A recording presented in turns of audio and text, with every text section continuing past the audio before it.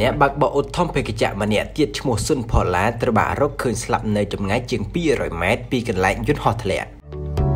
សេវាកម្មជួលរថយន្តគ្រប់ប្រភេទទាំងប្រទេសកម្ពុជាថៃនិងវៀតណាមសេវាកម្មទូកទំនើបល្បឿនលឿនទៅកាន់កោះរងសន្លឹមនិងកោះស្ដេច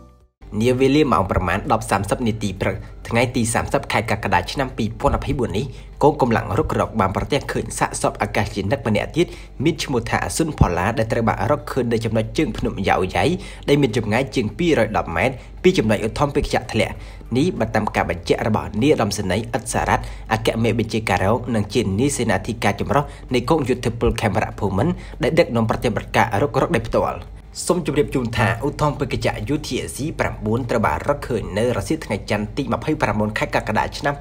2024បន្ទាប់ពីបានបាត់ដំណឹងនៅតំបន់ជួរភ្នំក្រវាញអស់រយៈពេល17ថ្ងៃកន្លងមកហើយសពអាកាសយានិកម្នាក់ឈ្មោះខេងឆៃយុទ្ធត្រូវបានរកឃើញនៅកន្លែងកាត់ហេតុផ្ទាល់ឧទ្ធម្ភាគចក្រនេះត្រូវបានប្រទះឃើញនៅចំណុចលើក្នុងភ្នំយ៉ាវយ៉ៃស្ថិតនៅក្នុងឃុំថ្មដាស្រុកវាវែងខេត្តពោធិ៍សាត់ក្រោយកម្លាំងចម្រុះបានចុះប្រតិបត្តិការរុករកអស់រយៈពេល17ថ្ងៃ